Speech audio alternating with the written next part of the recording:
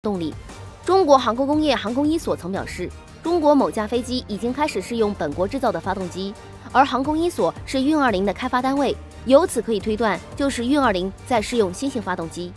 另外，此前报道称，发动机的电磁兼容性问题得到技术解决，并能够使用全权数字发动机控制系统。而据分析，WS 幺八和 D 三零 KP 二使用的是机械控制系统，不存在电磁兼容性问题。因此，我们可以得出结论，运二零正在试用的发动机是涡扇二零。同时，兵工科技十月十日消息称，运二零是一款性能优良的武器平台，未来可能装备激光武器，成为类似于美军机载激光反导系统这样的平台。如果安装高能激光武器，固体激光器与多数光纤激光器虽发展较快，但功率与美军激光反导系统相比依然偏低。而众所周知，高能激光武器对动力要求极高。这对涡扇二零也提出了相应的要求。美军使用的化学氧点激光器具有体积小、功率高的特点，非常适合机载安装。化学氧点激光器的研制在我国已有三十余年的发展。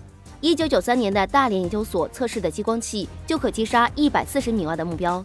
这方面的报道并不常见，但可以想见，九三年至今，这类激光器的研究已取得一系列突破。搭载上大功率激光武器的运二零。